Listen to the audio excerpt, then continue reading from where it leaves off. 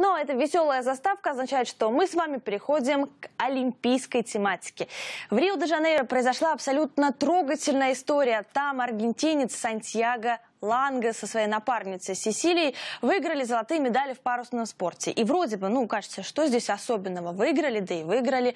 Но год назад у теперь уже олимпийского чемпиона диагностировали серьезные заболевания. Врачи сказали, что у спортсмена рак, удалили ему половину легкого, яхтсмену был выписан полный покой. Но с таким положением дел он мириться не стал. Сантьяго продолжил готовиться к Олимпиаде. И вот, посмотрите, завоевал для своей страны главную награду игр – золотую медаль. Победу он посвятил всем, кто борется с раком.